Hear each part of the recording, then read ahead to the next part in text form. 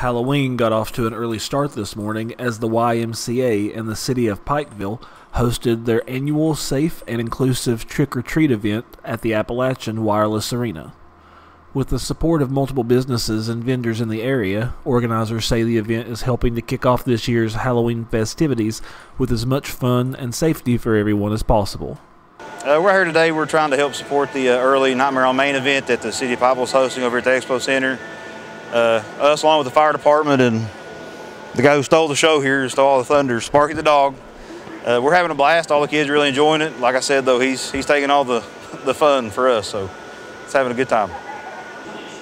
Uh, you know, the City of Pikeville sponsored this event with the Expo Center, along with uh, Pikeville Medical Center, who's helped out a lot this year with us. We're glad to have them on board, and it's really helped make the events a, a huge success. Here at Pikeville Medical Center's Heart and Vascular Institute, we have assembled a comprehensive team of cardiac specialists bringing expertise from all regions of the nation and the world. We have coupled that with cutting edge technology, providing them the best equipment and operating rooms available. The result is comprehensive cardiac care for the people of our region that is second to none. The Heart and Vascular Institute at Pikeville Medical Center. The bigger event will be on Sunday. The actual Nightmare on Main event will be on Sunday. Starts at 4 to 6. Executive Director of the YMCA, Shelley Justice Fouts, says the event, which wouldn't be possible without the support of their partners, is meant to help kids enjoy the fun of trick or treating in a safe and welcoming environment.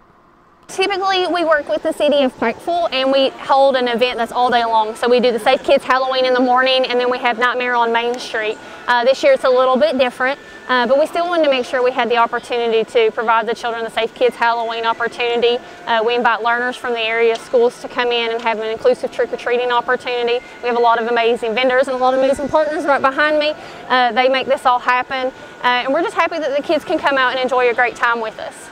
Uh, so today we're scheduled uh, individually with each school district that agreed to participate and we staggered them to increase the safety, uh, especially with uh, the pandemic right now. This is the first time in two years that we've been able to have the children indoors. Uh, so we've staggered their arrival so that they can keep safe distances, be with their own school groups and their own classrooms.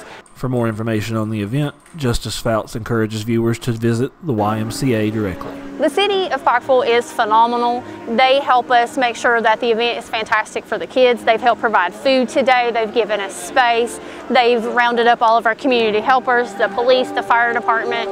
And we're so thankful for them for having us here and letting the learners come and be a part of it today. Uh, you know, uh, if anyone has any questions about the event for the future, maybe attending in the future, they can definitely reach out to the YMCA. Uh, we're on Facebook, Twitter, and Instagram, or you can find us at pikevilleymca.org. And then we also definitely want to plug uh, city tourism, and it's visitpikeville.com. Visitpikeville.com. Yes, ma'am. All right. For Mountaintop News, I'm Joshua Sloan.